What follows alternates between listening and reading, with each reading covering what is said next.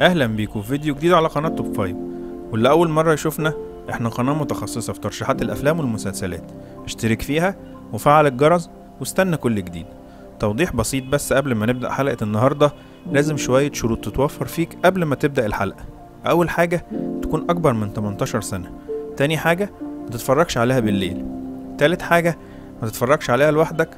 رابع حاجة ما تكملش الفيديو ده لو انت مش من محبي أفلام الرعب لاننا النهارده والأول مرة في القناة هنبدأ سلسلة أفلام الرعب. بعد ما عملت قائمه كبيرة قوي مكونة من أكتر من 30 فيلم وبعد مناقشة مع عشاق النوع ده من الأفلام قدرنا نوصل لقائمه فيها أفضل خمس أفلام رعب. والرعب الأكبر من الأفلام إن أغلبية الأفلام دي مقتبسة عن قصة حقيقية. الاختيارات دي يا رب تعجبكم ولو في اختيارات تانية يا ريت تعرفونا في الكومنتات لأن أكيد هيكون عندنا جزء تاني. ويلا بينا نبدأ. في المركز الخامس. وعشان تكون البداية سخنة مش معانا فيلم رعب. لا إحنا اخترنا لك سلسلة أفلام رعب بس بتتصنف إنها من أكتر السلاسل الرعب في تاريخ السينما. سلسلة أفلام الرعب التركية سجين. نفس التعليمات اللي قلناها في المقدمة تنطبق على السلسلة دي بس زود عليها إنك ما ترددش التعويذ اللي كانوا بيقولوها في الأفلام دي. وده لمصلحتك الشخصية. السلسلة مكونة من ست أجزاء كل فيلم منهم بقصة مختلفة. بدأت السلسلة ب 2014 بالجزء الأول لحد الجزء السادس في 2019 أحداث الست أجزاء مقتبسة عن قصص حقيقية وبتدور حوالين فكرة السحر. حاجة كده زي مسلسل المداح مع اعتبار إن حمادة هلال سبونج بوب.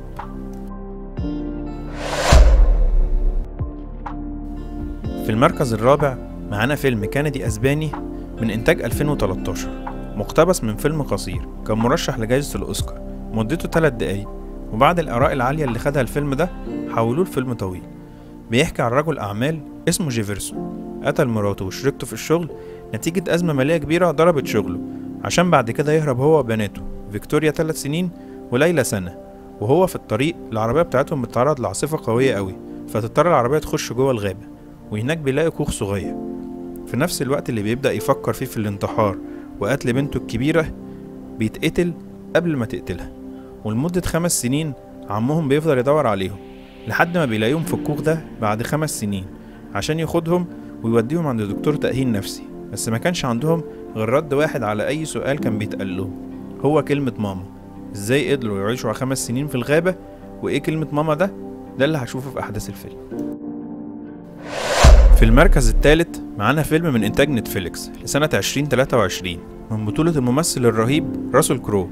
الفيلم مبني على أحداث حقيقية حصلت للكاهن جابريل أمورث اللي كان شغال زعيم لعمليات طرد الأرواح الشريرة في الفاتيكان واللي قام بأكتر من مئة ألف عملية طرد للأرواح خلال حياته. الكاهن اللي توفى سنة 2016 عن عمر 91 سنة كتب كتابين بيلخصوا كل خلاصة تجربته في ال 91 سنة عشان يجي بعد كده راسل كرو ويعمل لنا الفيلم ده اللي بيوصف فيه تجاربه في محاربته للأرواح. اللي سكنت الناس وزرعت الرعب والشر فيهم. وبما ان راسل كرو اللي عمل قصة الفيلم ده فإحنا أكيد قدام فيلم مرعب ورهيب جدا.